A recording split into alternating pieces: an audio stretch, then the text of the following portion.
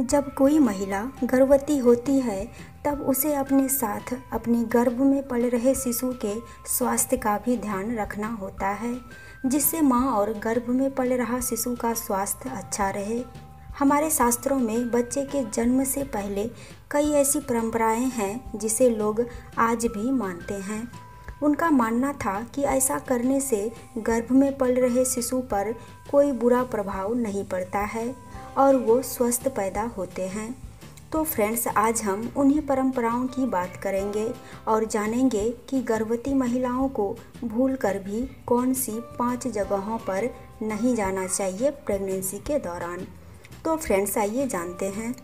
Friends ऐसा माना जाता है कि जब कोई महिला प्रेग्नेंट है तो प्रेग्नेंट महिला को सातवें महीने के बाद भूल कर भी नदी या नाला पार नहीं करना चाहिए।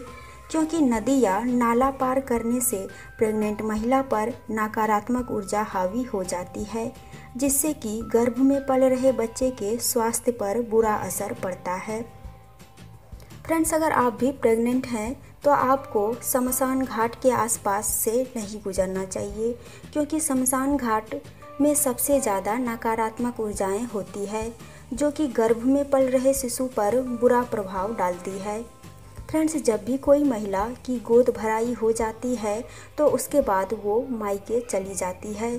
फिर मायके में वो घर से बाहर इधर उधर घूमती है, जो कि नहीं घूमना चाहिए, क्योंकि गोद भराई के बाद घर से बाहर घूमने से नकारात्मक ऊर्जा गर्भ में पल रहे शिशु पर बुरा प्रभाव डालती है। फ्रेंड्स, ऐसी मान्यता है कि गर्भवती महिलाओं को कभी भी रात के समय चौराहे पर नहीं जाना चाहिए। क्योंकि ऐसा माना जाता है कि प्रेग्नेंट महिला रात को चौराहे को पार करती है तो शिशु पर बुरा प्रभाव पड़ता है। फ्रेंड्स पहले की परंपराओं के अनुसार गर्भवती महिलाओं को घर के सुनसान जगहों पर, जैसे कि छत हो, वहाँ प्रेग्नेंट महिला को अकेले भूल कर भी नहीं जाना चाहिए। क्योंकि यहाँ पर भी नकारात्मक ऊर्जा होती है, जो कि गर्भ में पल रहे शिशु पर बुरा प्रभाव डाल सकती है। फ्रेंड्स, ये सारी बातें पुरानी परंपराओं और धार्मिक मान्यताओं के आधार पे मैंने आपको बताया है। अब मानना या ना मानना, ये आपके ऊपर है। तो फ्रेंड्स, ये थी जानकारी। प्रेगनेंसी के दौरान प्रेग्नेंट महिलाओं को इन पाँच जगहों पर भूल से भी नहीं जाना चाहिए।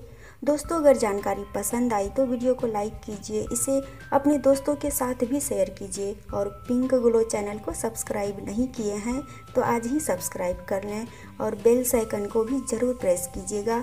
इससे मेरी आने वाली वीडियो की नोटिफिकेशन मिलती रहेगी। तो फिर मिलती हूँ एक और नई जानकारी के साथ। तब तक के लिए बाय एंड टेक केयर